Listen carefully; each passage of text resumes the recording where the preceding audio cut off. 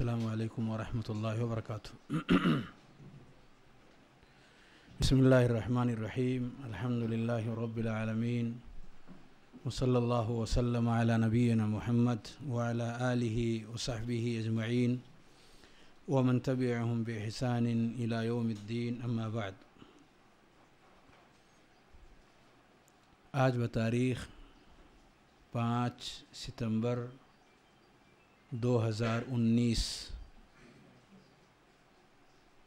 इमाम इबन क़य्यम अलजौज़िया रहमहुल्लाह की मशहूर किताब अद्दाओ व दवा के दुआओं से मुतक़ बाज़ अहम बातों पर मुश्तमिल ये दर्स है।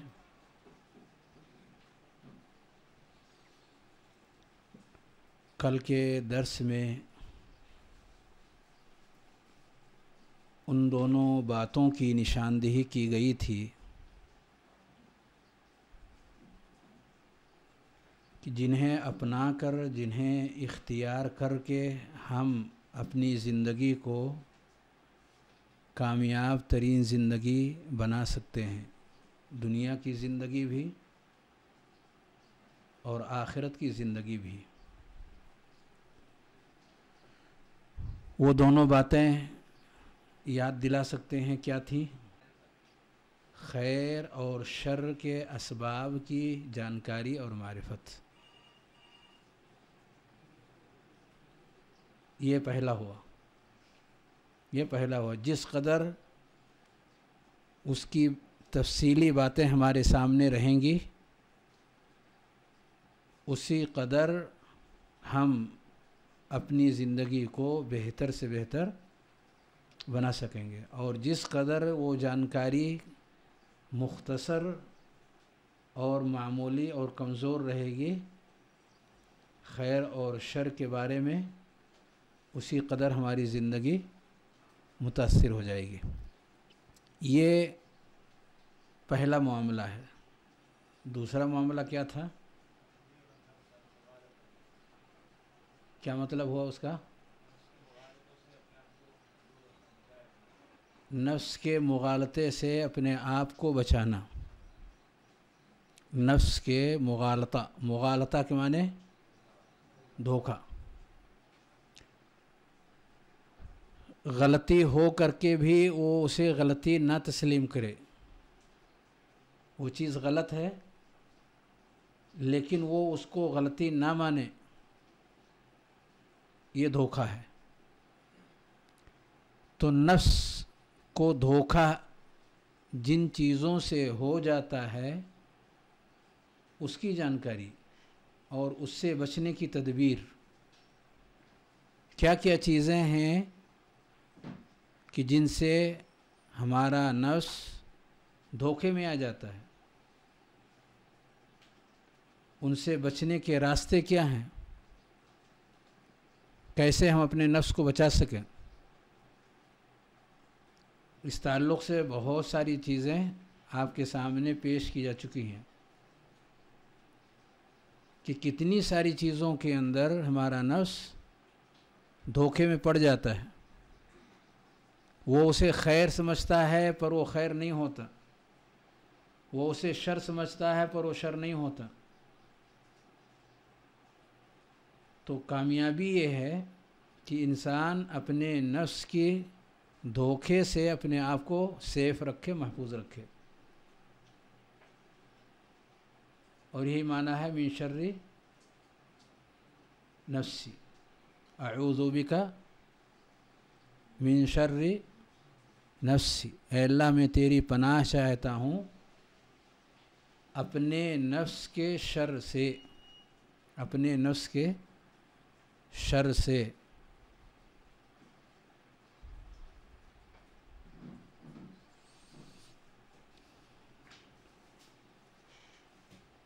कुछ दुरूस में धोखे की कुछ तफसीलात मैंने आपके सामने ज़िक्र की हैं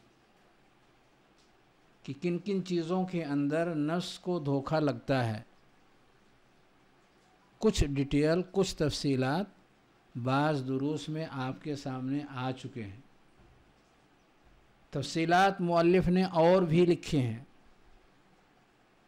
लेकिन ज़्यादा तफसीलात में मज़ीद न जाकर उनमें से सिर्फ़ एक चीज़ का ज़िक्र आज करते हुए और सिलसिले गुफ्तु को आगे बढ़ाने की कोशिश की जा रही है।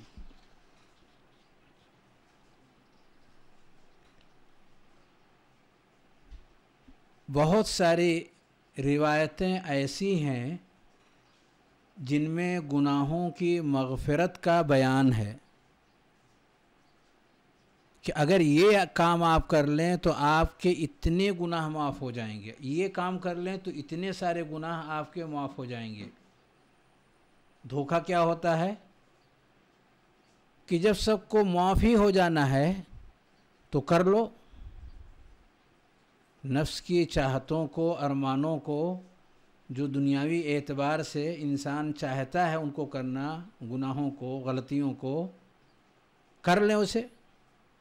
क्योंकि फ़ला अमल है, अगर उसे हमने कर लिया तो उससे अगले पिछले सारे गुनाह हमारे माफ़ हो जाएँगे।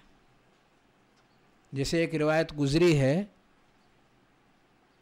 कि हर रोज़ अगर कोई शख्स कहता है सुबहान अल्लाह व बिहमदी सौ बार सुबहान अल्लाह व बिहमदी सौ बार कहता है तो उसके सारे गुनाह को अल्लाह रब्बुल आलमीन क्या करता है माफ़ कर देता है गरचे वो समंदर के झाग के बराबर क्यों ना हो माफ़ कर देता है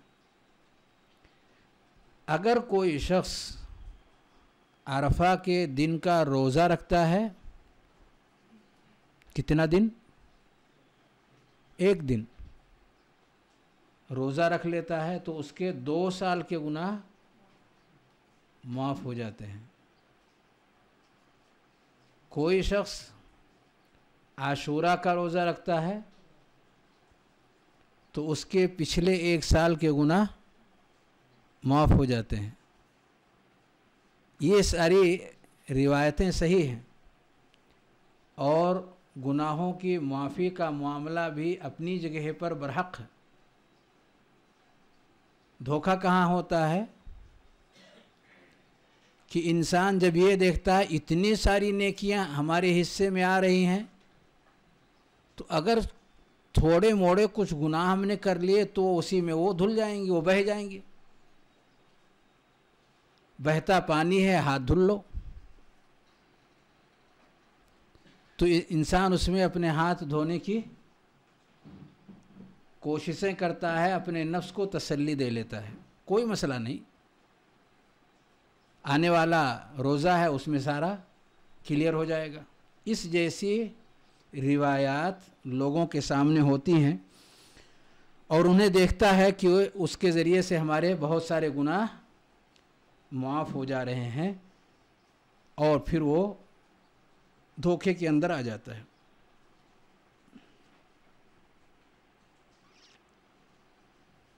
इस धोखे की हकीकत को अगर आप समझना चाहें तो ऐसे समझ सकते हैं कि एक रिवायत जो कि सही मुस्लिम में है, नबी करीम सल्लल्लाहु अलैहि वसल्लम फरमाते हैं, मशहूर रिवायत है इस धोखे की हकीकत को जानने के लिए इस पर गौर करें। असलवातुलखम्स वलजुमुआती इलजुमुआ व रमज़ान इला रमज़ान मुकफ़रात मा बैनहुन मुकफ़रात मा बैनहुन इज़ज तनाबल कबाइर। इज़ज तनाबल कबाइर। ये सही मुस्लिम की रिवायत हदीस नंबर टू थ्री थ्री तो इस रिवायत के अंदर नबी करीम वसल्लम ने क्या फरमाया? पाँच वक्त की ये नमाज़ें, यानी पंज वक्ता नमाज़ें, और जुमा से जुमा यानी जुमा की अदायगी इस हफ़्ते, आने वाले जुमा की अदायगी तक और रमज़ान का रोज़ा जो हमने इस साल रखा आने वाले रमज़ान तक, इस बीच में इंसान से जो गुनाह होते हैं, वो ये नेकियाँ उन गुनाहों को क्या करती हैं? मिटा देती हैं, उनके लिए कफ़ारा बन जाती हैं। उनके लिए, लेकिन शर्त क्या ज़िक्र किया नबी वसल्लम ने? इज़ज तनबल कबाइर। जब वो कबीरा गुनाहों से इजतनाब करे, बचे। इज़ज तनबल कबाइर। जब वो बड़े बड़े गुनाहों से अपने आप को बचाए तो छोटे गुनाहों के लिए वो कफ़ारा बन सकती हैं। ये शर्त इस रिवायत के अंदर नबी करीम वसल्लम ने ज़िक्र फरमाया। मालूम ये हुआ कि कबीरा जो गुनाह हैं फजीलत के ये जो काम और उनका ये जो अजर बयान किया गया है, कबीरा गुनाहों को मुआफ़ करने के ताल्लुक़ से ये बातें है ही नहीं। कबीरा गुनाह, ये स्ट्रांग है, मज़बूत है, ताकतवर है। और उसके सामने जो नेकी उसे मिटाने के लिए आई है, वो उससे कमज़ोर है, हल्के दर्जे की है। उसका मुकाबला नहीं कर सकती। उसके लिए मज़बूत दर्जे की नेकी चाहिए। और रिवायात को सामने रख कर के ये बात क्लियर होती है कि वो तौबा और इस्तफ़ार ही है, जो इन कबायर को मिटाने का ज़रिया और रास्ता है।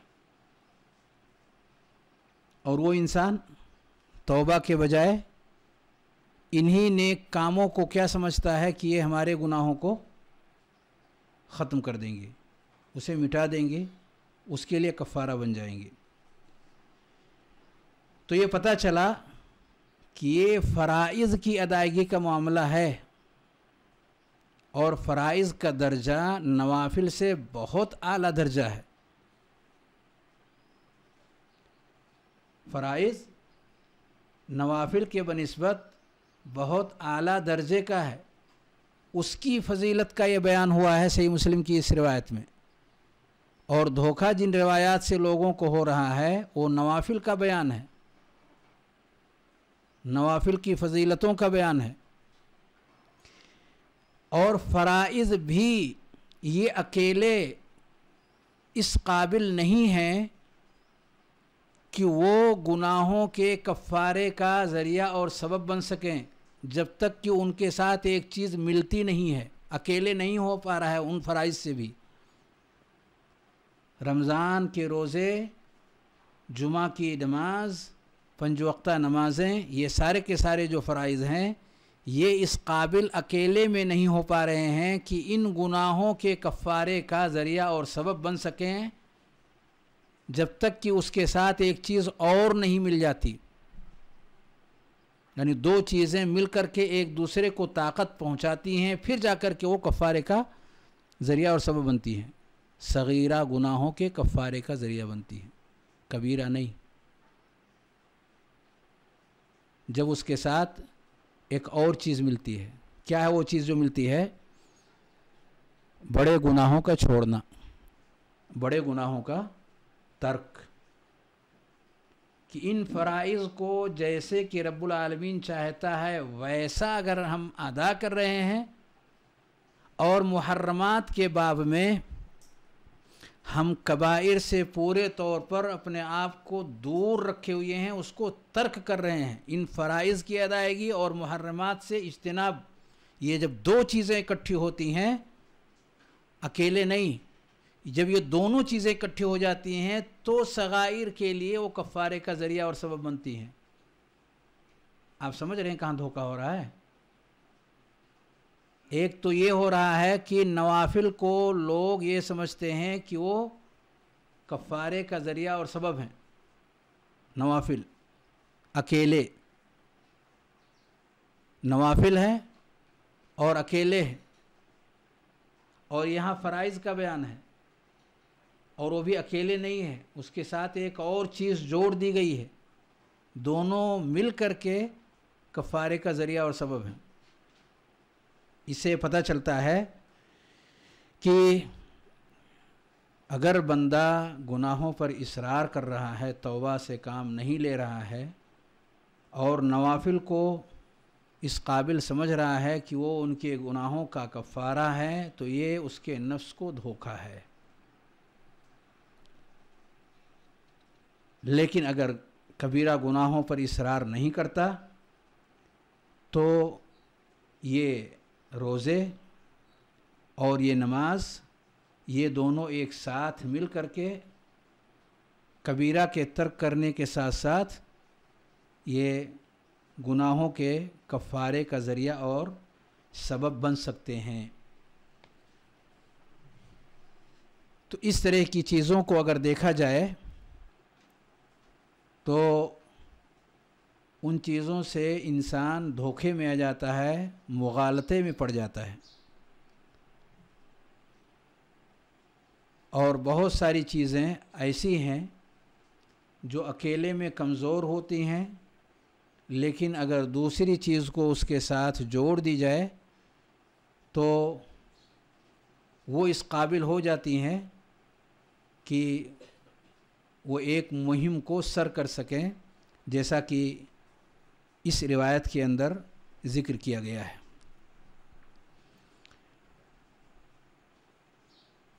इसी तरीके से बाज़ भाइयों को इस बात पर भी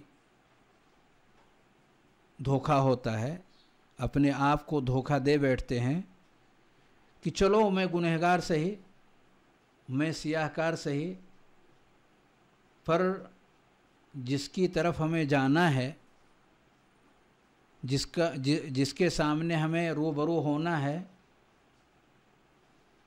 उसके साथ अगर हम अच्छा गुमान रखते हैं तो वादा है उस ज़ात का अना इंद हुस्नी अना इंद हुस्न ज़न अबदी भी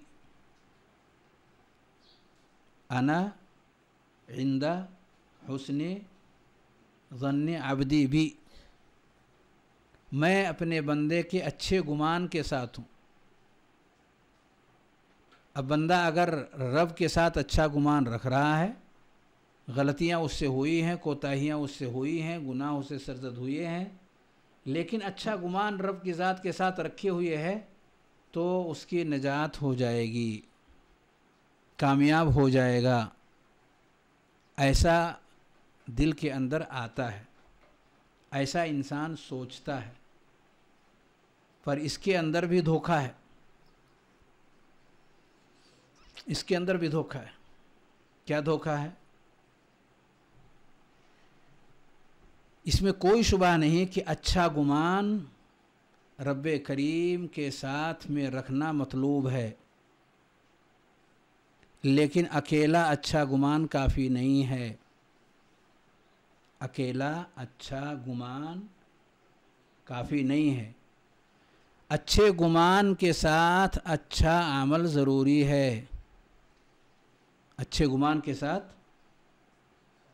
अच्छा अमल ज़रूरी है। अगर सिर्फ़ गुमान लेकर के इंसान बैठा है, गुमान का मतलब? है? यानी रब के ताल्लुक़ से उसकी ये सोच रब के ताल्लुक़ से इंसान ऐसा सोचे कि वो तो रहीम है, वो तो करीम है, वो तो गफूर है, गुनाहों का माफ़ करने वाला है, बख्श देने वाला है, साहिब करम जूदो आता है तो ये अच्छा गुमान है अल्लाह रब्बुल आलमीन की ज़ात के साथ। अच्छी सोच है और ये सोच होनी चाहिए। रब के साथ ये सोच होनी चाहिए। लेकिन गुनाह पर कायम रह करके ये सोच कुछ भी फ़ायदेमंद नहीं है। गुनाह पर, इसरार गुनाह पर कायम रहने के साथ गुनाह को छोड़े बग़ैर, गुनाह के रास्ते से हटे बग़ैर इंसान इस तरह का प्रोग्राम और इस तरह का, की सोच अल्लाह रब्बुल आलमीन की ज़ात के साथ रखे। ये अपने आप को धोखा देना है। यहूद नसारा क्या कहते थे? नहन अबना व अहिब्बा नहन अबना व अहिब्बा हम अल्लाह के चहेते हैं। हम अल्लाह के चहेते हैं। मतलब मतलब साफ़ है। यानी यहाँ हम कुछ भी करें,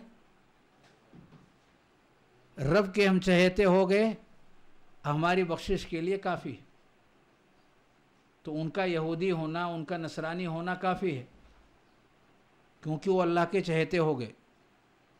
इसी तरीके से मुसलमानों में भी बहुत सारे ऐसे लोग हैं, बहुत सारी ऐसे गुरोह हैं, बहुत सारी ऐसे तवाइफ हैं,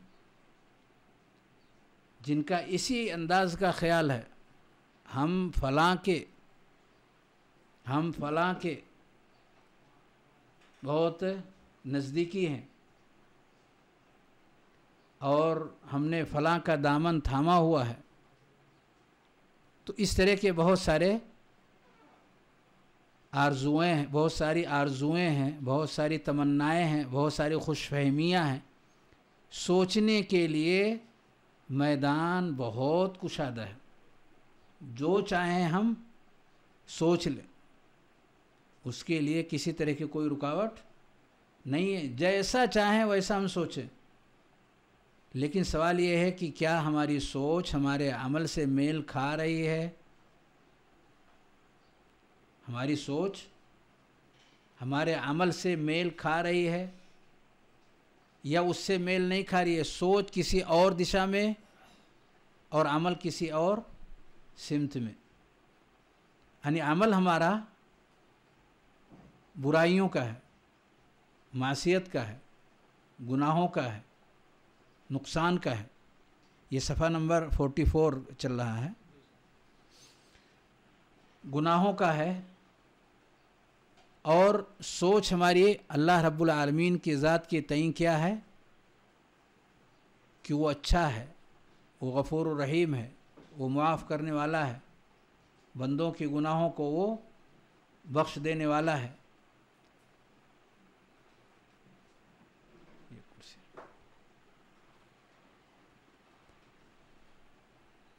तो इस तरह की सोच लोगों के यहाँ अल्लाह रब्बुल आलमीन के तई पाई पाए जाते हैं। लोग ऐसा सोचते हैं अल्लाह रब्बुल आलमीन के बारे में। जिसको हम हुसन ज़न कहते हैं। अरबी में उसको हुसन ज़न कहते हैं। अच्छा गुमान। और अच्छा गुमान करने का हमें हुक्म भी दिया गया है। हमें बताया भी गया है कि अल्लाह रब्बुल आलमीन के हवाले से बंदों को चाहिए कि वो अच्छा गुमान रखें। यानी अच्छा गुमान रखें का मतलब कि अल्लाह हमारे साथ बुरा करेगा या अच्छा करेगा? अच्छा करेगा। ये सोच हमारे अंदर आनी चाहिए। रब के ताल्लुक़ से ऐसी सोच नहीं आनी चाहिए कि अल्लाह हमारे साथ अच्छा नहीं कर रहा है। रब हमारे साथ अच्छा नहीं कर रहा है। कुछ ऐसे भी लोग इस कायनात में पाए जाते हैं जो इस तरह की बातें कहते हैं या सोचते हैं कि ये बहुत अच्छा नहीं हो रहा हमारे साथ। हमारे साथ बहुत अच्छा नहीं हो रहा है। उधर लड़के के साथ ये मामला हुआ कि इतना कुछ हमने उसके पीछे मेहनत किया और जहाँ देखिए वहाँ एक से बढ़ कर के एक मसले का वो शिकार। उधर हमारे कारोबार के साथ ये मामला हो रहा है। होने के करीब है कि अब मामला साफ़ और क्लियर हो जाएगा। आखिरी आखिरी पोजीशन पर पहुँचते पहुँचते कट हो जा रहा है।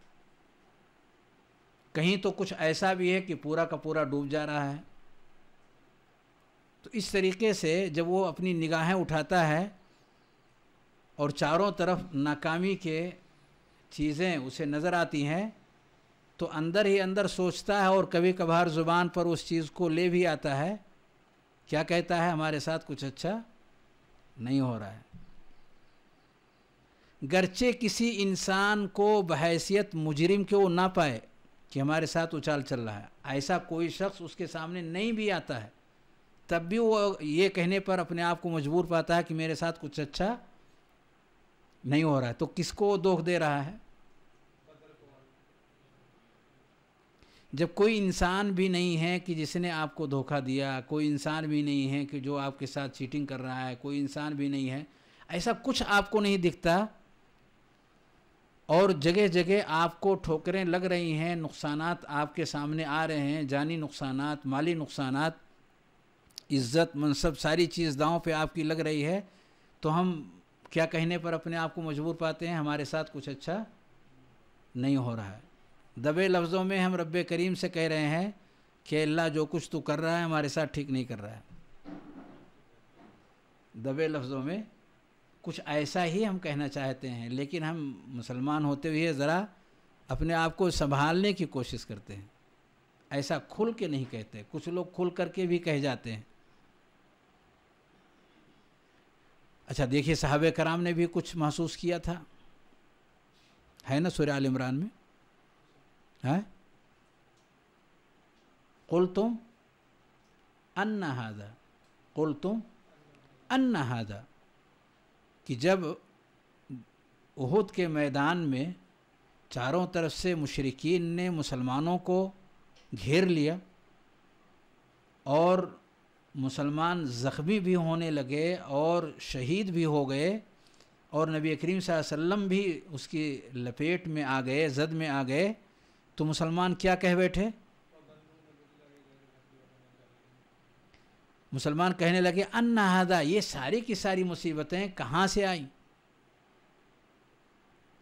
यानी, क्या हमारा कुछ ऐसा है मामला कि हम इन सारी मुसीबतों के अहल ठहरे? अन्ना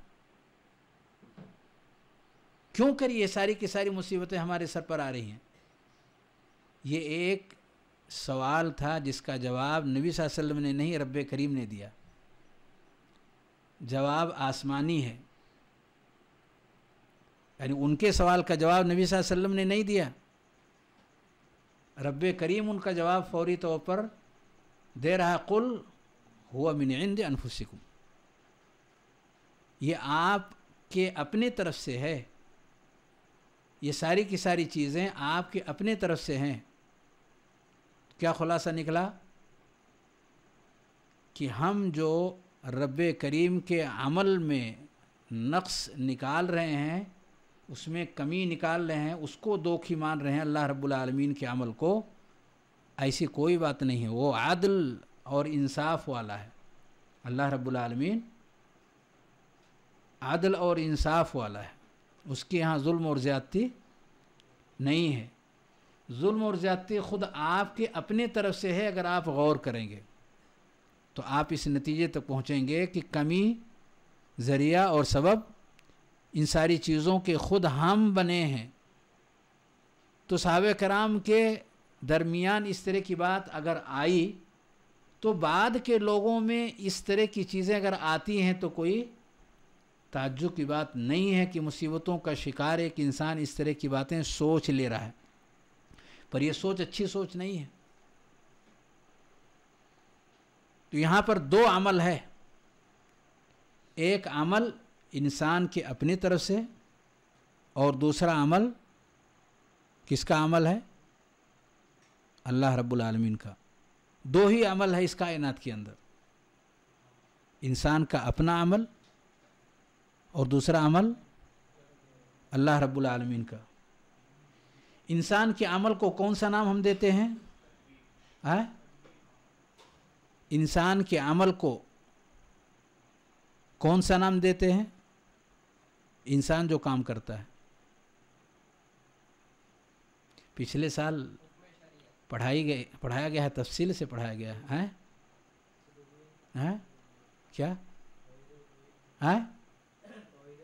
हसंत। ये सही जवाब है। ये तोहद उलूहियत है। ये तोहद उलूहियत है। तोहद इबादत है। इंसान के अमल को तोहद उलूहियत और तोहद इबादत कहते हैं। यानी इंसान जो काम भी करे, रब को राज़ी रखने के लिए करे, रब को खुश करने के लिए करे, कोई भी काम वो अंजाम दे रहा है, दुनिया तलबी उसका मकसद ना हो, ताकि वो तोहीद हो सके। उस, वो काम रब के हुक्म से और रब की रज़ा के लिए हो। रब की इजाज़त से रब की रज़ा के लिए ख़ास हो सके। तो ये कौन सी तोहहीद हो जाती? तो इंसान अपने फ़ेल का मुकल्लफ है। इंसान अपने अमल का ज़िम्मेदार है कि अपने अमल को सही तरीके से अदा करने की कोशिश करे। कैसे करना है? तो जहाँ कहीं कोताही आती है, हमारे अपने अमल के अंदर आती है तो हिद उलूहियत के अंदर कोताही आ जाती है। तो हम बजाय उस अमल की असलाह के हम तोहद, किस तोहद की तरफ़ चले जाते हैं? तोहद रबूबियत की तरफ़ चले जाते हैं। क्योंकि रब करीम के अमल को हम कौन सा नाम देते हैं? तोहद रबूबियत अल्लाह रब्बुल आलमीन जो काम भी करता है हम ये नहीं कहते हैं कि उसके काम में कोई और भी शरीक है। या कहते हैं, हमारा अकीदा है ये, अकेला रब करीम ही है जो सूरज को पूरब से निकालता। कोई और है जो शरीक है? बारिश आसमान से कौन बरसाता? अल्लाह रब्बुल आलमीन ही है। कोई और ज़ात उसके साथ इस अमल में शरीक नहीं। आसमान को बग़ैर किसी सहारे के यानी ये छत जो हमारे ऊपर साया फगन है, आसमान का, और बग़ैर किसी पिल्लर के, इसको किसने खड़ा किया? अकेला। अकेला हमारा रब है, जिसने इन सारी चीज़ों को खड़ा किया। इंसान को किसने पैदा किया? रब के अलावा कोई हो सकता। हमारे जिस्म का कोई भी अज़्व अगर ख़राब हो जाए, कोई भी हिस्सा आँख से लेकर के और दीगर तमाम अज़ा तक, क्या आप सोच सकते हैं इंसानों ने आज तक ऐसा कोई मटेरियल तैयार किया है कि आपकी नाक ख़राब हो गई? चलो, कोई बात नहीं, दूसरी नाक लगवा लेते हैं। आँख की रोशनी चली गई, कोई बात नहीं, चल करके फला हॉस्पिटल के अंदर वहाँ रोशनी मिल जाती है। रोशनी लगवा लेते हैं, ऐसा मुमकिन है? क्या किसी ने आज तक ऐसा, ऐसी कारीगरी किया है जैसा हमारे रब ने किया? मुमकिन ही नहीं है। ऐसा कोई कर ही नहीं सकता। ये सिफत किसी के अंदर है ही नहीं, वो अकेला है। तो हमें रब के ज़ात पर शक नहीं करनी चाहिए, रब के सिफात में शक नहीं करनी चाहिए, रब के अफ़ाल में शक नहीं करनी चाहिए। रब के फ़ेल में कहीं शक नहीं होनी चाहिए। कि उस तरफ़ कमी का एहसास इंसान को इस तरफ़ ले जाए कि हमारे रब के अलावा भी कोई है जो इन सब चीज़ों को कर सकता है। अभी ये दोनों बातें यहाँ क्यों ज़िक्र की गई? हुसन जन से। हुसन जन, यानी अच्छा गुमान अल्लाह ताला के ताल्लुक़ से करना, गुमान करने वाला कौन? बंदा। और ये गुमान करना, ये जो फ़ेल है, ये किसका फ़ेल है? इंसान का फ़ेल है। अगर बंदा अच्छा गुमान रब करीम की ज़ात के साथ करता है तो ये कौन सी तोहहीद होगी? तोहहीद उलूहियत। ये काम उसे करना है। इस काम के करने का हुक्म दिया गया है कि वो अच्छा गुमान करे। तो ये तो हो गई उसकी सोच। सोच को सही सिमत में ले जाए।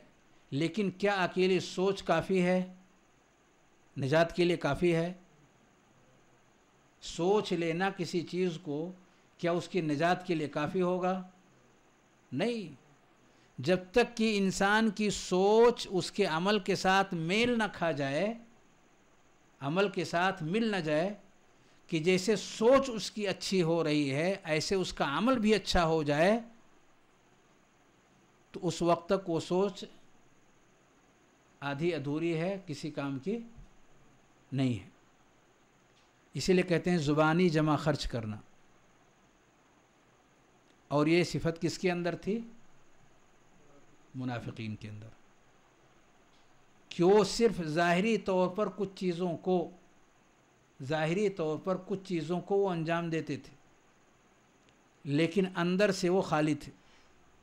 अंदर से वो पूरे तौर पर खाली थे। दोनों चीज़ें मेल नहीं कर रही थी।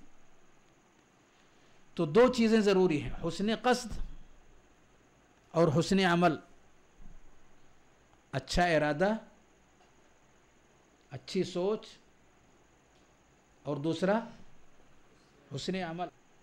जो इंसान बुरे काम में अपने आप को दिलचस्पी रखने वाला पा रहा है कि बुराई करता है और दिल से करता है। दिल उसका चाहता है कि हम इस गलत काम में लगे रहें।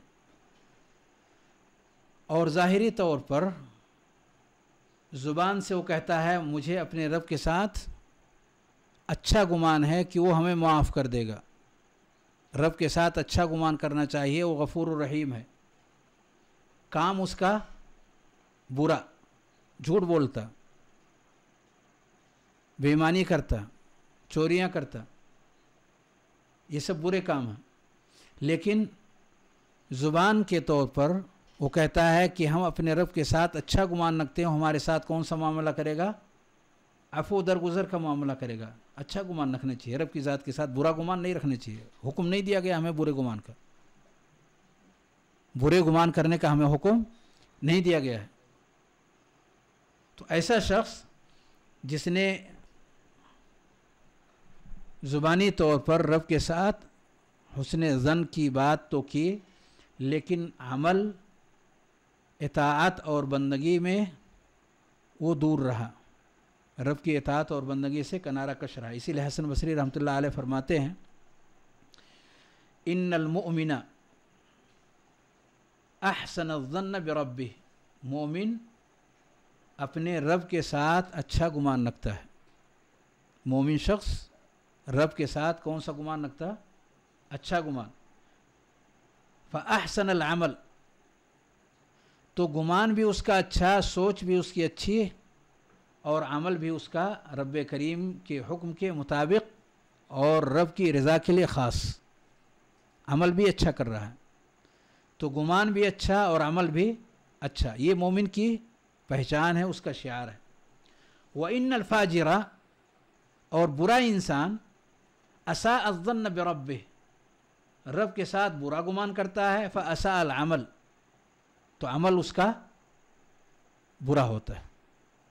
तो अगर एक शख्स कहता है अपनी ज़ुबान से कि रब माफ़ करने वाला है, गफूर रहीम है, अफो दरगुजर से वो काम लेता है, लोगों पर मेहरबानी करने वाली ज़ात है, बुरा गुमान मत करो और वो चोरियाँ करता है बेमानियाँ करता है, धोखे देता है, उल्टी सीधे हरकतें करता है, नमाज़ के करीब नहीं जाता तो हम क्या कहेंगे उसको? उसके ताल्लुक से हम क्या कहेंगे? कि अगर अच्छा गुमान रखना इसका सही होता तो इसका अमल भी सही होता। जिस कदर इंसान का अमल बुरा है, उसी कदर उसका गुमान भी रब की ज़ात के साथ बुरा है। आप क्या ये सोच सकते हैं किसी नौकर के ताल्लुक से? कोई भी। कि आप उसको खाना भी दे रहे हैं, उसको कपड़े भी दे रहे हैं और उसे सैलरी भी दे रहे हैं, उसके साथ उसने सलूक से काम ले रहे हैं, बहुत ज़्यादा काम भी आप ओवरलोड नहीं दे रहे हैं। आपका क्या गुमान है उसके ताल्लुक से? वो आपके साथ? अच्छा मामला करेगा या नहीं? क्या गुमान है आपका? अच्छा गुमान हमारा यही है कि हमारे साथ वो अच्छा करेगा। और इसके बाद वो भाग खड़ा हो। वो आपके अंदर से वो भाग ले। भाग खड़ा हो वो शख्स। यानी चांस उसे मिलता है तो वो दाएँ बाएँ वो निकल जाता है। भाग खड़ा होता है। तो ऐसा शख्स जिसके साथ उसके आका ने अच्छा मामला किया हो अच्छा सलूक किया हो, उसकी सही खबरगिरी किया हो, और ग़ुलाम उस आका के साथ इस तरह का मामला कर रहा हो तो क्या आका उसके साथ अगर दोबारा उसको देखेगा तो अच्छा सलूक करेगा? क्या उसको लगेगा कि आका के सामने हमें जाना चाहिए? ऐसे भगोड़े शख्स को कि जिसके साथ उसके आका ने अच्छा मामला किया हो, क्या भागते वक्त उसके जहन में ये बात आएगी? कि हम अगर दोबारा अपने आका के सामने जाएँगे तो अच्छा मामला हमारे साथ करेगा, वो क्या सोचेगा उस वक्त भागते हुए? क्या उसके दिल के अंदर ये कैफियत नहीं आएगी कि अब हमारे साथ तो अच्छा नहीं हो सकता? वो हमसे पूछेगा कि भाई क्या कमी हमने किया था कि तुमने हमारे साथ ये गलत सुलूक और गलत मामला तुमने किया? हमारे पास कोई जवाब नहीं होगा। इसलिए हमारी सोच वहाँ पर ये होगी कि अब वो आका हमारे साथ अच्छा नहीं कर सकता। सेम यही मामला इंसानों का और उसके रब का है। कि अगर हम बुरा कर रहे हैं और हमारा रब हमें खिला रहा है, पिला रहा है, सारी चीज़ें ज़िंदगी गुजारने के इसबाब को मुहैया कर रहा है और फिर भी हम उसकी नाफरमानी और मासीत पर डटे हुए हैं तो अंदर से वहशत पैदा होती है। दिल के अंदर क्या पैदा होता? वहशत। इंसान के अंदर एक होता है उनसीयत ताल्लुक़। एक होता है उनसीयत ताल्लुक़। और एक होता है उसी का अपोजिट। और उसी को कहते हैं वहशत।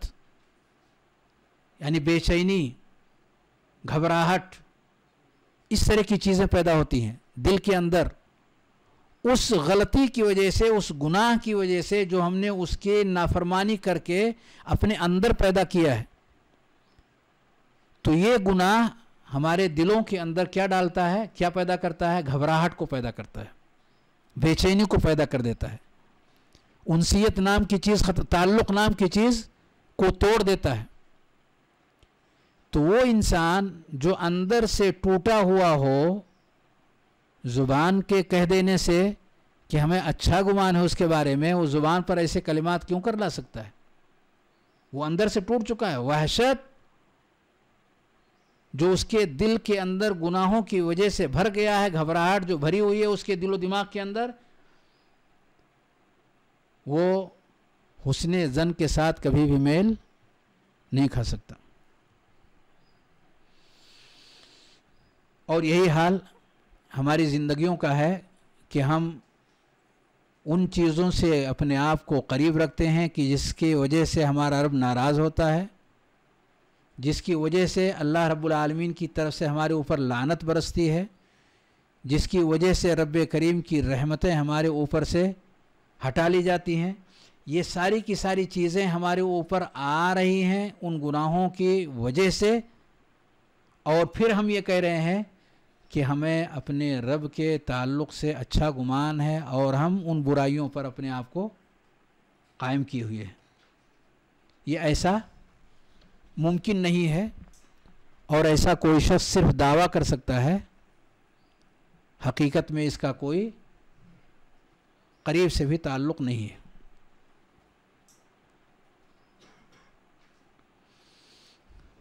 कुछ लोगों ने अल्लाह रब्बुल आलमीन के ताल्लुक़ से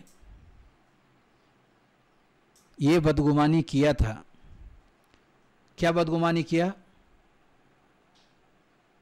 बदगुमानी उनका सिर्फ़ इतना था अल्लाह के ताल्लुक़ से लाया अलम कसीर रमिम्मा तमलून। सूर फुसलत के अंदर कि अल्लाह रब्बुल आलमीन हमारे बहुत सारे कामों को नहीं जानता। यानी इतनी खामोशी के साथ हम उन कामों को अंजाम दे लेते हैं कि हमें, कि हम किसी को इतला नहीं दे, किसी को खबर नहीं, खामोशी के साथ उन सारे गुनाहों को हम बंद कमरे के अंदर कर लेते हैं, किसी को पता नहीं चलता। लाया और वो एहसास उनके दिलों के अंदर इतना ज़्यादा चलता रहता है कि वो रब करीम से गाफिल हो जाते हैं। कि उसको तो कम से कम पता है कि हम गुनाह कर रहे हैं। तो ये बदजनी उनके जहनो दिमाग के अंदर आ जाती है। अल्लाह रब्बुल आलमीन ने क्या कहा? वज़ालिकुम ज़न्नुकुमुल्लज़ी ज़ननतुम बिरब्बिकुम अरदाकुम। ये बदगुमानी जो तुम्हारे दिलों के अंदर आई तुम्हारे उन बदामालियों की वजह से, तुम्हारे जहन के अंदर ये बद, ये बदगुमानी आएगी कि अल्लाह हमको पकड़ेगा तो ऐसा अजाब देगा कि वो ऐसा अजाब किसी को नहीं देगा। सुना वो वाक़ आपने?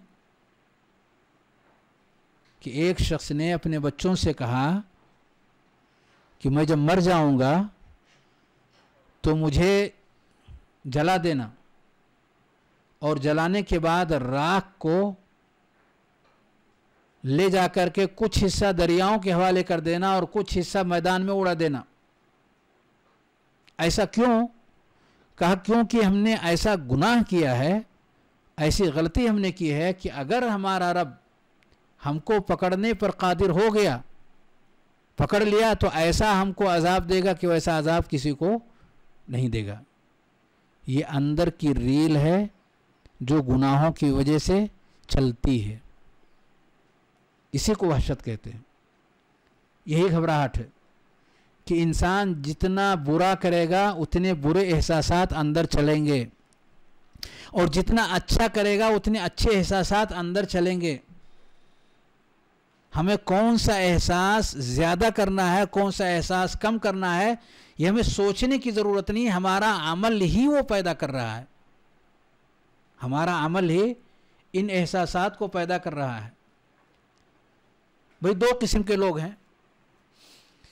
एक तो वो शख्स है जो कहता है, ये आदमी हमारा कभी भला नहीं कर सकता। ये आदमी बहुत बुरा है। ये हमारे साथ कभी अच्छा नहीं कर सकता। एक शख्स की सोच ये है। वहीं पर दूसरा शख्स है, उसकी सोच ये है कि ये आदमी किसी के साथ बुरा नहीं सोच सकता।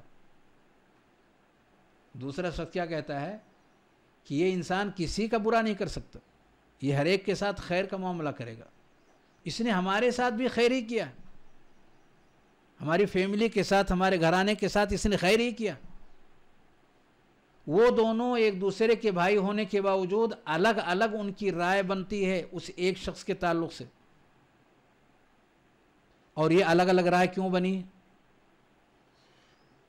उनके अपने अमल की वजह से बनी। क्योंकि हर शख्स अगर अच्छे काम के ज़रिए से अपने दिलो दिमाग को मुआतर किए हुए है तो अच्छा ही गुमान कर सकता है दूसरे लोगों के ताल्लुक से। और अगर बुरे किस्म के ख्यालात से, जिसको हम निगेटिव थॉट्स कहते हैं, बुरे सोच, उससे अगर हमने अपने जहन को भर रखा है निगेटिव ख्याल से अपने जहन व दिमाग को हमने अगर भर रखा है तो हम किसी के बारे में अच्छा सोच ही नहीं सकते। वही चीज़ें आएँगी हमारे जहन व दिमाग में जो अंदर भरी हुई है। एक एक करके हमने यहाँ से यहाँ से और यहाँ से, कल मैंने बताया था, इन तीनों रास्तों से जो ख्यालात हमने अपने दिल के अंदर भर दिए हैं वही ख्याल हमारी स्क्रीन पर आते रहेंगे। ये जो स्क्रीन हमारा, इस स्क्रीन पर वही ख्याल आएँगे जो ख्यालात इन तीनों रास्ते से वहाँ जा रहे हैं। अब सुबह फजर की नमाज़ से लेकर के और रात सोने तक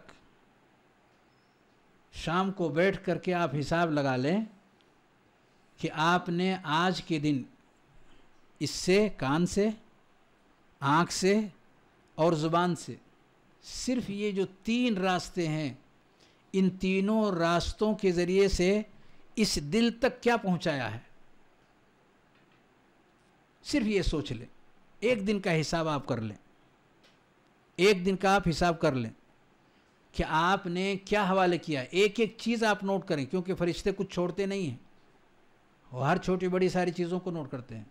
हम एक एक चीज़ का हिसाब करें कि इनमें क्या क्या चीज़ें हैं जो हमने उस, क्योंकि दिल हर चीज़ को कैच करता है। अच्छा आप देंगे उसको भी कैच करेगा, बुरा देंगे उसको भी कैच कर, कोई छोड़ेगा नहीं वो दिल। सब चीज़ को कैच करता है और सबके असरात उसके ऊपर आते हैं। तो कान के रास्ते से अगर बुराइयाँ आपने सुनी हुई हैं, कान के रास्ते से गाने और बाजे आपने सुने हुए हैं, कान के रास्ते से गीबत और चुगलखोरी की चीज़ें आपने समात की हैं। कान के रास्ते से आपने बदतमीज़ियों की चीज़ों को आपने ज़्यादा सुन रखा है तो दिल उन चीज़ों को सेव कर लेता है। आँख के रास्ते से भी वही हाल है कि आँख के रास्ते से आपने किन किन चीज़ों को देखा है। गुनाह की चीज़ें हैं या अजर और सवाब की चीज़ें हैं। किन चीज़ों पर ये निगाहें दिन भर चलती रहीं? मोबाइल के स्क्रीन पर चली हैं और स्क्रीन पे क्या चीज़ चलती रही है? उसके सारे असरात उस दिल तक जा रहे हैं। ज़ुबान से हम किसका ज़िक्र करते रहे? कौन कौन सी चीज़ें थीं जो हमारी ज़ुबान का हिस्सा बनी? सुबह उठने से लेकर के आँख खुलती है तो सबसे पहले हम किस चीज़ को उठाते हैं? वो जो नबी करीम वसल्लम करते थे इन नफ़ी खल्क समावत वलअर्द वख्तलाफ़िल वन्नहार या खट से हम मोबाइल उठाते हैं और फ़ौर चेक करते हैं कि क्या मैसेज आए या किसके किसके कॉल आए। ये नॉर्मल किस्म की चीज़ है। या झट से अखबार आज के दिन के ताज़ा अखबार, आज के दिन की ताज़ा खबरें। जल्दी से उसको देखें। बल्कि कुछ लोग चाय पीने से पहले भी उसको ये सब चीज़ें देखना और जानना बहुत ज़रूरी ख्याल करते हैं। कहते हैं ये सब दीन का एक हिस्सा है।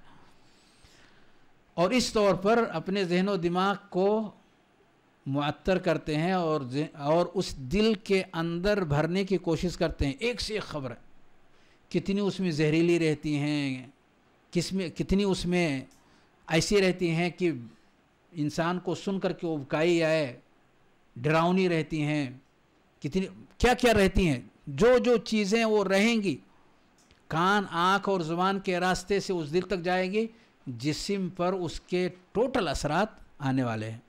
अगर बुराइयों का पलरा गालिब रहा इन तीनों के रास्ते से तो उस इंसान की सोच कभी अच्छी नहीं हो सकती। ज़ुबान से चाहे जिस कदर वो कहे, मैं बहुत अच्छा सोचता हूँ लोगों के बारे में।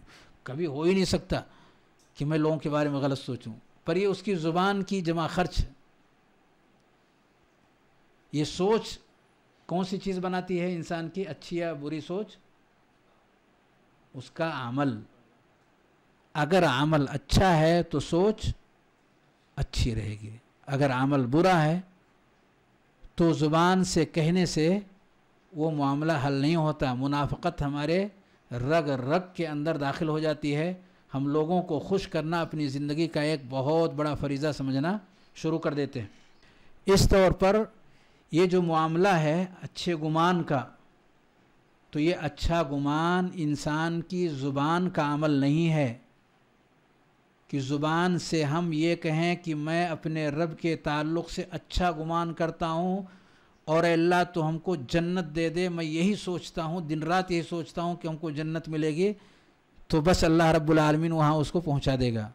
ऐसा नहीं है। तो फिर कैसा है? हमारे आमाल ही बताएँगे कि हमारा गुमान रब के ताल्लुक़ से कैसा है। अगर हमारे आमाल अच्छे हैं तो हमारी सोच और हमारा गुमान रब के ताल्लुक़ से अच्छा है। चाहे हम ज़ुबान से कहें या ज़ुबान से ना कहें। सुबहानकल्लाहमदिक अशद अंत। अस्तगफिरुका व अतूब इलैक। व वसलम नबीन महमद वाल मुहम्मद व अला आलिहि व सहबिहि अजमईन